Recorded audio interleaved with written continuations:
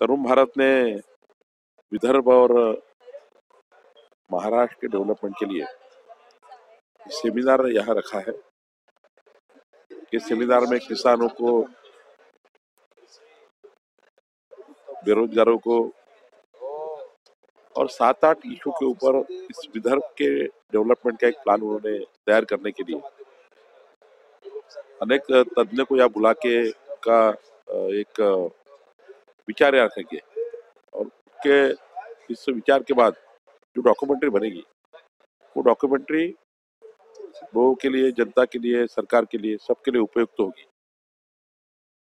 चर्चा सत्र बहुत महत्वपूर्ण है, बहुत महत्वपूर्ण विषय है। मैं तरुण भारत का बहुत बहुत आभार व्यक्त करता हूँ।